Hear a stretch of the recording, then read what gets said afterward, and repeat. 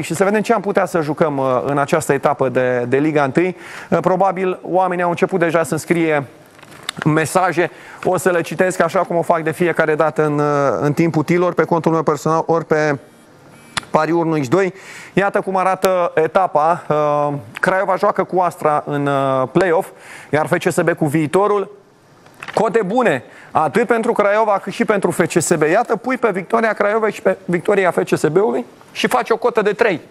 E o cotă bună, în condițiile în care FCSB-ul chiar cred că pleacă cu prima șansă uh, meciul cu viitorul, deși e o cotă uh, foarte bună.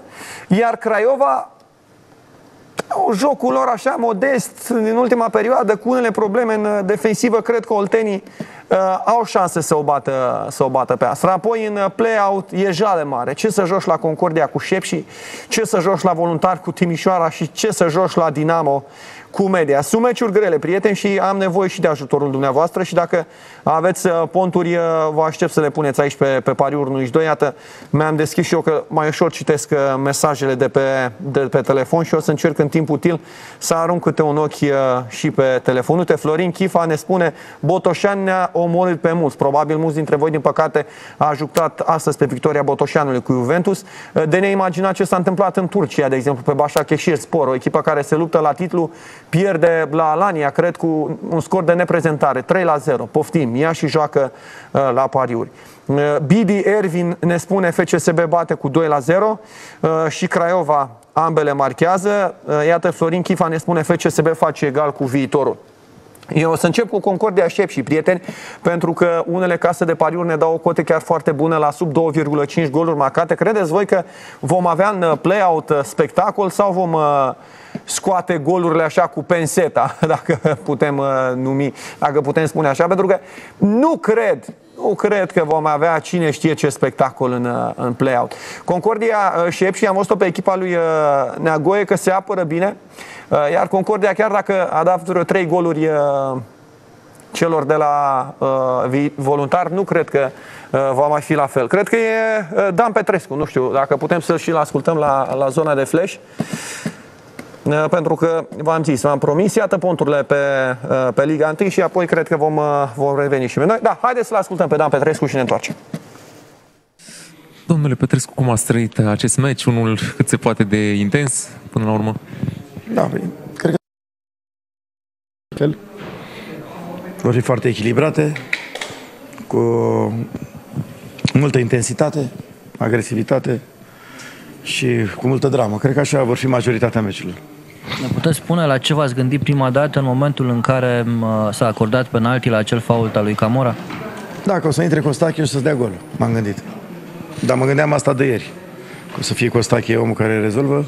Mă gândeam că e puțin timp, dar aveam mare încredere în el. Din, din fericire, el n-a dat gol, a dat pasă de gol. Deci eu n-am timp să mă panichez, trebuie să iau decizii imediate ca să, să câștigăm meciul.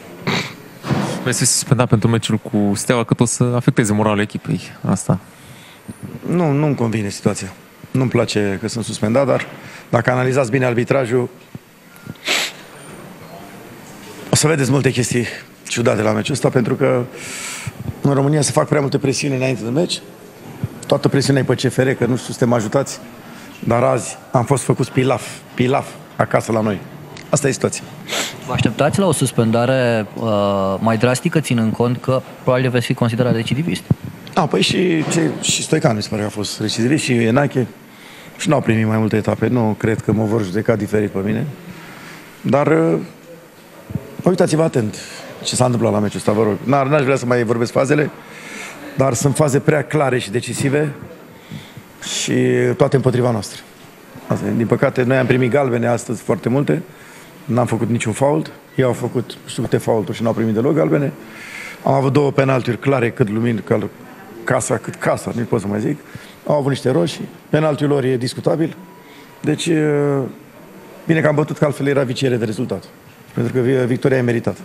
Da, sunt avocatul diavolului. Acum se discută foarte mult și despre ultima fază, la golul de 2 la 1 al CFR-ului. Da, penalti clar. Penalti clar, la Culiu.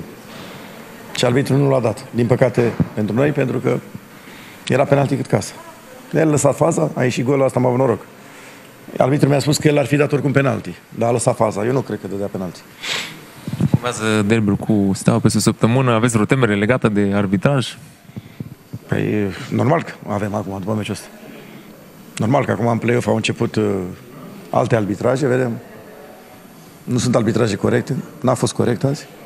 Normal că o să mă tem. Până acum nu mă temeam, n-am crezut că o să se întâmple așa. Dacă acasă s-a întâmplat acest lucru, mă gândesc ce va fi meciul de deplasare. Credeți că veți avea parte de un arbitraj uh, străin? Eu sper să fie un arbitru corect, să nu decide el uh, meciul. Dacă cei de la clubul nostru sunt de acord, eu v-am spus părerea mea și o repet. Să fie arbitrii de în primele șase campionate din Europa și sper să vină aici să nu greșească. Dar uh, cel mai important ar fi ca meciul să se câștige pe teren și să nu câștige un arbitru. Vă doriți un anumit rezultat la Steaua viitor, Dumic, având în Nu mă vedere că... interesează. Nu mă interesează. Unde veți sta la meciul cu FCSB? Veți rămâne în spatele băncii de rezerve sau veți uh, alege un alt loc în tribună? Mai am 8 zile să mă gândesc, dar în ultima oară am stat în tribună, nu știu dacă va fi bine. Nu știu dacă va fi bine să stau lângă bancă. Mă voi decide în următoarele zile.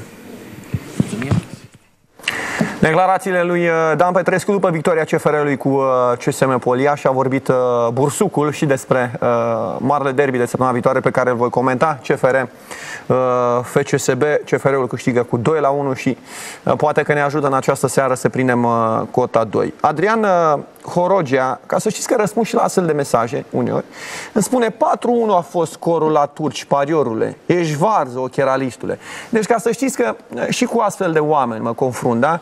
Uh, Iar Adrian, îți spun cu toată sinceritatea, pe câți oameni am ajutat eu să câștige bani de când fac aceste emisiuni, uh, tu cred că n-ai mers atâtea ore la școală. Deci dacă le adun pe toate, tu nu ai mers atâtea ore la școală, câte bilete câștigătoare le-am date oamenilor. Asta ca să știi.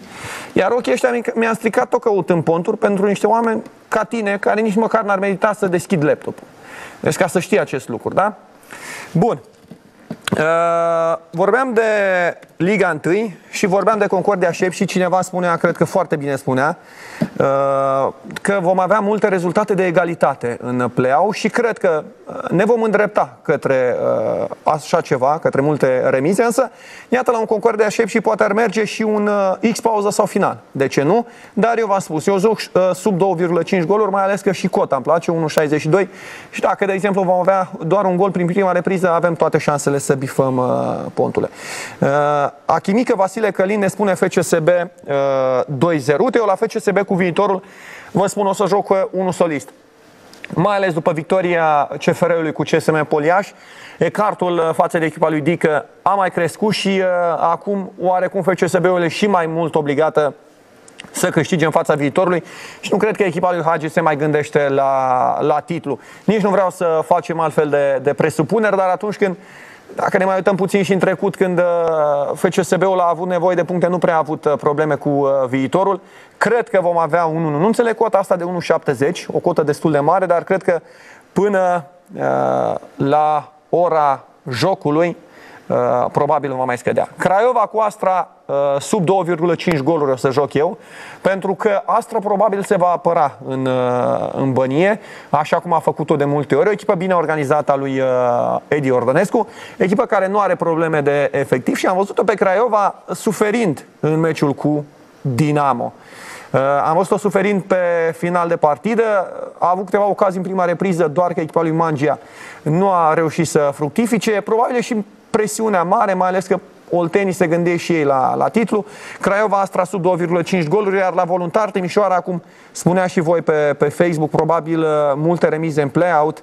Uh, Eu o să joc X pauză sau uh, final. Haideți să vedem cum joacă Timișoara în play-out, pentru că auzeam și declarații date de uh, Grozavu care spunea că pentru noi abia acum începe campionatul și oricum, uitați-vă la clasament, lupta acolo este foarte